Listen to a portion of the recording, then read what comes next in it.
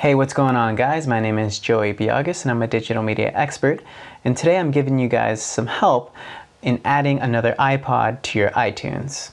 All right, so what you want to do first is you want to plug in your iPod to your computer via USB cable, okay? So make sure that's plugged in. And let's go ahead and hop into iTunes here.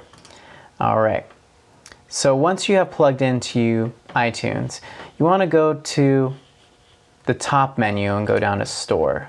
And then you want to cruise down to Sign In. All right.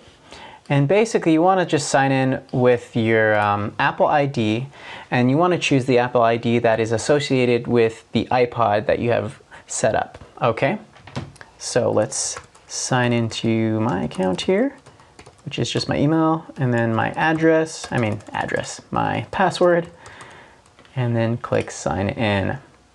All right, and that signs us in, but there's also one more step, which is we cruise up to store again, and then we want to authorize this computer, okay? So this gives us the ability to um, use the Apple ID and purchase things. So if we want to, if we want to buy music and then uh, sync it up with our iPod, we can do that.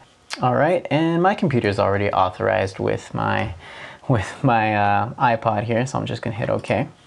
But that's pretty much it, guys. So whenever you want to add another one, all you have to do is sign out and repeat the process. But that's basically it on adding another iPod to your iTunes. If you do have any other questions, please let us know, and thank you for watching.